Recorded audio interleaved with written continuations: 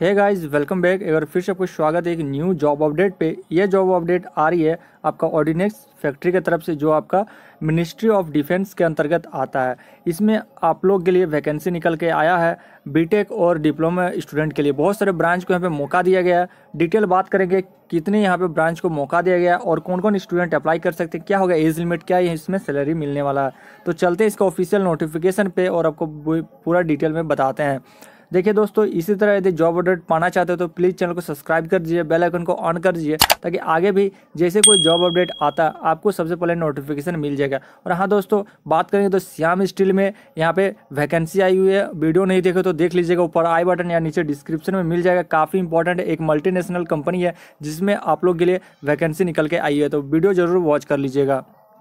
तो ध्यान दीजिएगा दोस्तों, ये रहा आपका हैवी व्हीकल फैक्ट्री ठीक है जो कि चेन्नई की तरफ़ से निकल के आ रहा है ठीक है ऑर्डिनेंस फैक्ट्री में। मैंने क्या बोला था ये मिनिस्ट्री ऑफ़ डिफेंस का डिफेंस के अंतर्गत आता है। इसमें बात करेंगे तो नोटिफिकेशन निकाला गया अप्रेंटिसशिप के लिए 2022 और 23 के लिए अंडर अप्रेंटिसशिप देख लीजिए यदि आप अभी आ, बात करेंगे तो ऑर्डिनेंस फैक्ट्री से यदि अप्रेंटिसशिप करके रखते हो तो बहुत ही जल्द ऑर्डिनेंस फैक्ट्री में यहाँ पर भर्तियाँ आने वाली है। तो आप लोग को बहुत ही ज़्यादा हेल्प करेगा उस समय जॉब लेने में। तो ज़रूर अप्लाई कर दीजिएगा। देखिए पास आउट की बात करें तो अच्छे खासे यहाँ पे स्टूडेंट को मौका देगा। यदि आप 19, 20 और 21 में पास आउट हो तो आराम से आप अप्लाई कर सकते हो। फ्रेशर हो फिर भी आप अप्लाई कर सकते हो। देख ले चलिए बात कर लेते हैं पोस्ट के बारे में। तो दोस्तों, ध्यान दीजिएगा, पोस्ट की बात करें तो देखिए, वन कैटेगरी में रखा गया है ग्रेजुएट अप्रेंटिस। इसमें मैकेनिकल के लिए सबसे ज़्यादा सीट रखा गया है, लगभग पचास सीट यहाँ पे रखा गया है। उसके बाद इलेक्ट्रिकल एंड इलेक्ट्रॉनिक्स इंजीनियरिंग के लिए दस सीट रखा गया है,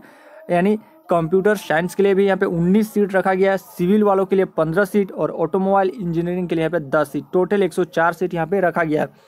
नौ हज़ार पर मंथ आपको यहाँ पे सैलरी दिया जाएगा। ट्रेनिंग आपका एक साल होने, एक साल होगा। तो ज़रूर अप्लाई कर दीजिएगा क्योंकि एक्सपीरियंस लेना काफ़ी इंपॉर्टेंट है दोस्तों। ठीक है तो ज़रूर अप्लाई कर दीजिएगा क्योंकि बहुत ही जल्द आपको ऑर्डिनेंस फैक्ट्री का भर्तियाँ आने वाली है।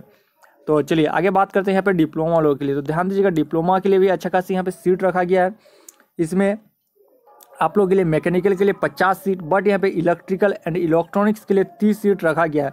कंप्यूटर के लिए सिर्फ़ सात सीट रखा गया है, सिविल के लिए पाँच सीट और ऑटोमोबाइल के लिए अठारह सीट। इसमें टोटल एक सौ दस सीट रखा गया है। इसमें आपका स्टाइपेंड आठ हज़ार होगा। इसका भी आपका ट्रेनिंग एक साल का चलने वाला है। तो चलिए अब आगे बात करते हैं क्वालिफिकेशन की ओर। तो देख लीजिए, जो ग्रेजुएट अप्रेंटिस है, आपका डिग्री होना चाहिए इंजीनियरिंग का, ठीक है? फुल टाइम होना चाहिए, ठीक है? तो आराम से आप अप्लाई कर सकते हो। वहीं बात करेंगे टेक्निक टेक्नीशियन डिप्लोमा अप्रेंटिसशिप का तो आपका डिप्लोमा होना चाहिए, जो भी है इसमें ब्रांच देख रखा है फुल टाइम आपका होना चाहिए। अब बात करें तो दोस्तों सिलेक्शन सिलेक्शन प्रोसेस के बारे में। देखिए सिलेक्शन प्रोसेस आप लोग का मेरिट के अनुसार होगा कि आपने बीटेक और डिप्लोमा में कितना आपका परसेंट है, उसी हिसाब से आप लोग यहाँ पे सिलेक्शन होगा। और सिलेक्शन के बाद यहाँ पे कोई भी इंटरव्यू नहीं नहीं होगा सीधे आपका यहाँ पे डॉक्यूमेंट्स वेरिफिकेशन होगा, जो कि आपका आबादी चेन्नई में होने वाला है। तो देख लीजिए यहाँ पे आ, बात करेंगे तो इंटरव्यू का कोई झमेला नहीं है तो आराम से आप इसको अप्लाई कर दीजिएगा ठीक है? चलिए अब बात करते हैं कि इसको अप्लाई किस तरह करना है। सबसे पहले आपको एनएटीएस में रजिस्ट्रेशन करना होगा। रजिस्ट्रेशन कर लेने के बाद आपको ये लॉगिन करना होगा। लॉगिन करने के बाद आपको इस्टेब्लिश रिक्वेस्ट मेनू में जाना होगा। देखिए यहाँ पे इस्टेब्लिश नंबर दे के रखा है इसको आप कॉपी कर लीजिएगा। उसके बाद आपको एक अपलोड रिज्यूम करना होगा ठीक है? उसके बाद क्लिक अप्लाई एंड उसके बाद यहाँ पे अप्लाई हो जाएगा। और यहाँ पे कुछ इंपॉर्टेंट डेट देख रखे हैं, पूरा डिटेल के साथ तो देख लीजिएगा। आप कब तक ऑनलाइन अप्लाई कर सकते हो, ठीक है? तो दस छः दो हज़ार बाईस से स्टार्ट हो जाएगा, ठीक है? उसके बाद लास्ट डेट आपका कब है तो पच्चीस छः बाईस, और लास्ट डेट अप्लाइंग का कब है तो देख लीजिए पाँच से, पाँच सात बाईस रखा गया। और कब तक यह इसका डिक्लेरेशन कर देंगे? शॉर्ट लिस्ट कैंडिडेट का तो बारह सात दो हज़ार बाईस और वेरिफिकेशन आपका डॉक्यूमेंट्स कब होगा? तो उन्नीस सात बाईस से लेकर बीस सात बाईस। यानी पूरा यहाँ पे शेड्यूल दे के रखा है तो ज़रूर अप्लाई कर दीजिएगा।